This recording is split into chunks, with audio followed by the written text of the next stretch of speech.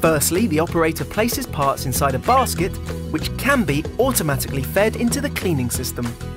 Secondly, and just like other washing systems, we can have a number of processes like spray, flood, rinse, ultrasonics, and vacuum drying. So, how does it work, you might ask? Let's take a closer look inside.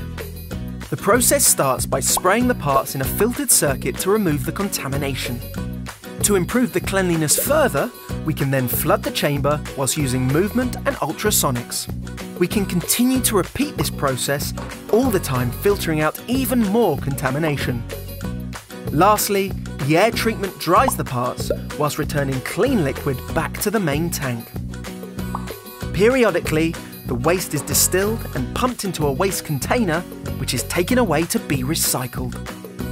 When required, new cleaning agent can be safely added from a special container, and with a closed system, the cleaning agent is well maintained, making it last longer and, in most cases, for a number of years. This new approach considerably improves quality, safety, cost efficiency, and is significantly greener for the environment.